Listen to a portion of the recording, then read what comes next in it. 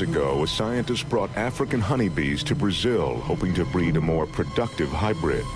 When the bees escaped his lab, they spread quickly.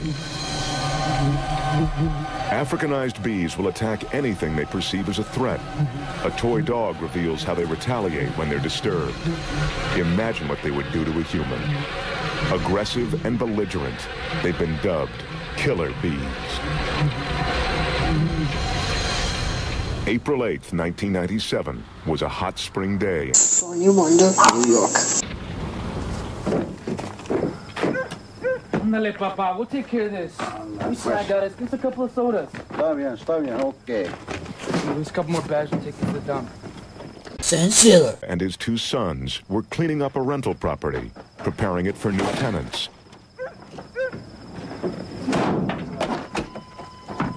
Hey, take care of my truck.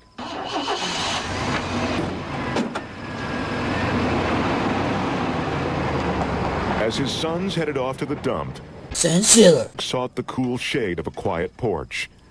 He thought he was alone, but he wasn't. He barely noticed the bees at first, and certainly didn't see them as a serious threat. But when he instinctively swatted at one, Sensilla. may have sealed his own fate.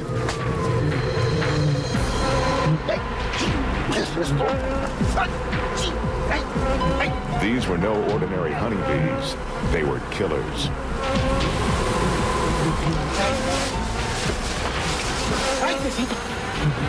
When a dying bee sends a signal to the hive, it provokes the entire colony to attack. Overwhelmed by thousands of the stinging insects, struggled to the house next door, desperately seeking help. The Elam family heard his cries, but they weren't prepared for what they saw. We heard a knock at the door, and my wife Mary answered the door, and she screamed. Help me, somebody! Help me! Help me! Please! And so I got up, went over to see what was wrong, and he was just completely covered. His head and his open neck area was just completely covered with bees. In fact, it looked like he was growing bees out of his head. My first reaction was, what, what can we do for this man? Uh, he needs help, but if we bring him in the house, then are we just going to be bringing all those bees in here and getting all of us stung too?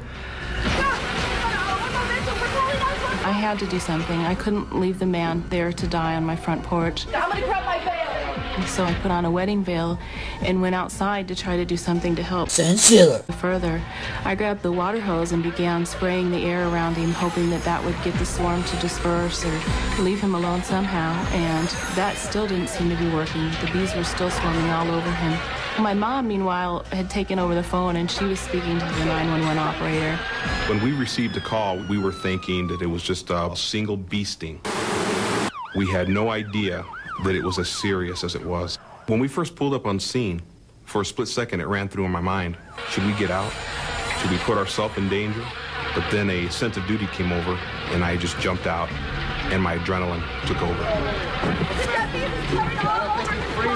I approached the patient. He was completely covered with these bees. It looked like a carpet of bees just completely covering him. I looked around and nobody was helping me. Nobody was coming around. I turned back, I looked at my partner, and I said, Somebody gonna help me!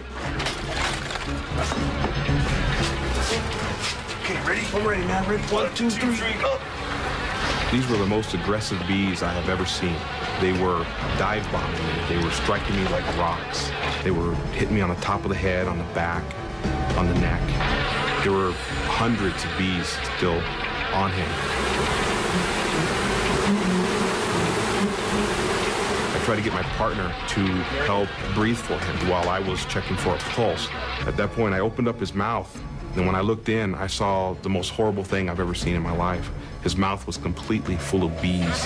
He had probably a hundred bees or more in his mouth. So I began scooping bees out of his mouth, and I was just pulling them out by the 20s, 30s. I mean, it was just incredible. Uh, he had bees coming out of his nose. He had bees coming out of his ears.